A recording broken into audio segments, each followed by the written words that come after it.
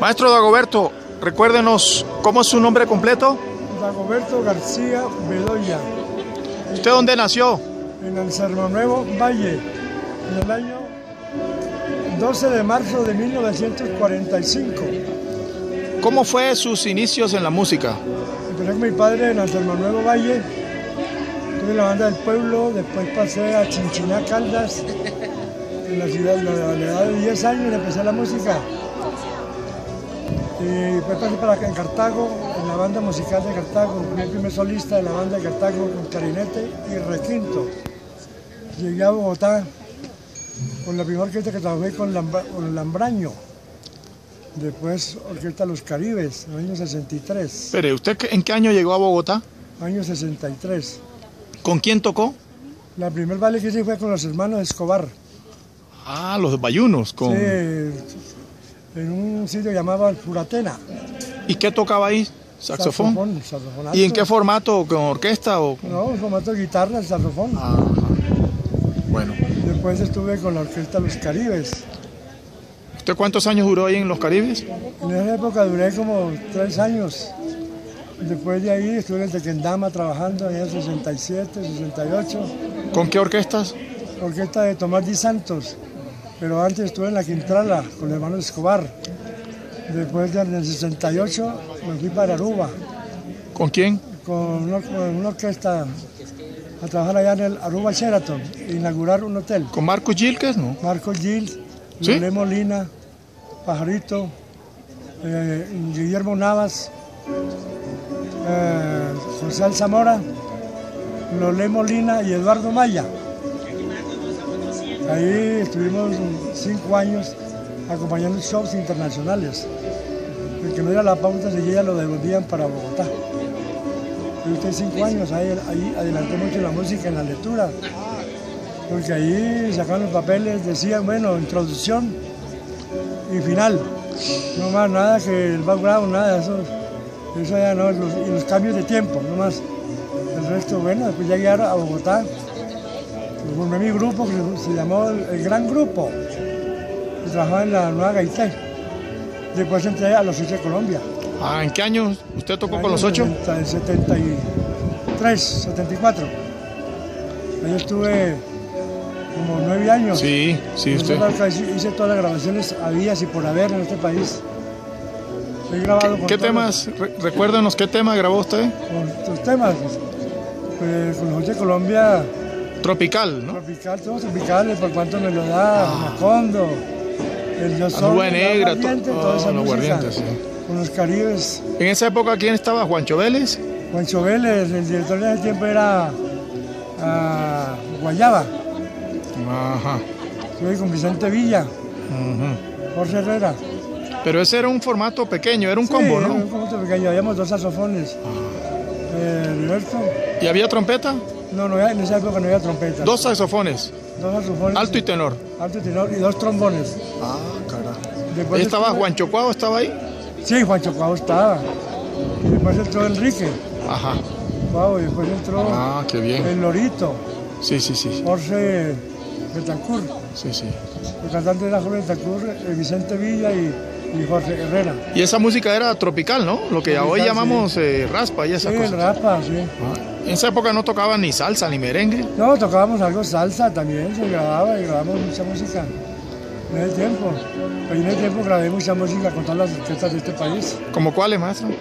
He grabado pues, con los Caribes, con los Alfa 8, producciones para el Banco Ganadero, 5 long play. Grabé 8 long play de Pares a Bailar. Yo grababa todos los saxofones y clarinetes, en todas las orquestas he grabado todos los saxofones. O sea que una grabación que hacía de 10 temas, yo hacía 80 canales. Tengo grabaciones, aquí tengo un disco que te va a pasar ahora. ¿Como cuántas grabaciones ha hecho usted, maestro? Ay, papá, si me acordara. Pues duré 25 años grabando todo lo de Bogotá y Medellín. Me decían que yo tenía una cama en Ingesón. Y grababa todo, con, todo, con todas las cantantes, con Claudia de Colombia. Grabé con, bueno, con Juan, Le- con Juan Legido. Eh, grababa con Pa- Pancho Zapata, Pancho Zapata. Ujú. Grabé con los aliados. Ah, sí. con los feos, con todas las orquestas. He grabado en este país. Maestro, ¿y usted por qué cree que, bueno, los tiempos cambian, las generaciones? Es, es- ahora estamos viendo otros estilos. ¿Qué, qué opina de, de esto? Bueno, son, son cosas que pasan. Eso, eso tiene que pasar porque ya aquí en Colombia ya no se escucha un porro ni una cumbia en las emisoras. Y la culpa viene del gobierno que permite todo eso. Y debe, que debe, dar- de- debe siquiera haber unas 5 horas de música colombiana en cada emisora. No las 24 horas, sino por unas 5 horas siquiera. Para que, para que folclore se escuche. Se escuche el porro, la música de Lucho Bermúdez, la de, la de Pancho, eh, Pacho Ocho Galán, Galán, sí. los Martelos, los Caribes, Mm, todas esas orquestas. Yo grabo con todas las orquestas. Y he hecho muchas grabaciones personales. Todos he grabado con los, yo grabo todos los, siempre grabo los cinco saxofones. Grabé mucho tiempo con, con Víctor Gutiérrez. Ah, Víctor Gutiérrez. ¿no? Todo lo que hacía Víctor Gutiérrez me llamaba a mí. También Quique Fernández. Si yo estaba viajando, me esperaba que yo llegara de, de la fila a grabar. Yo invité mucha música a grabar, muchos saxofonistas decían que era una rosca. Mm, Pero yo, la- yo, yo llevaba a grabar, me decía la revista, dile a ese señor que se calle. No, no, dile tú, porque no me también problemas. Pero es la verdad. Ahí está una prueba, también grabé con ese señor mucho. Con él que está allá.